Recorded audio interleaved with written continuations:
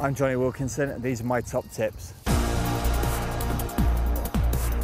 Today we've worked a lot on passing, spoken a lot today about passing left and right handed. The left hand pass, all the power will come from the left hand. The right hand is there to push against the ball, that gives you more power in the pass more control. Without that weight, the ball tilts, the weight of the ball is below the hand, quite often the ball will dip and head towards the floor instead of the target.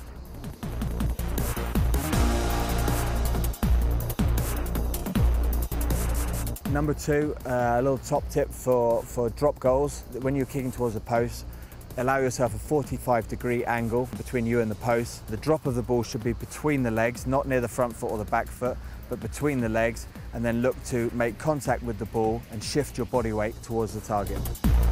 Number three, uh, top tip is uh, a fairly simple one, but one that people forget uh, and don't pay enough attention to.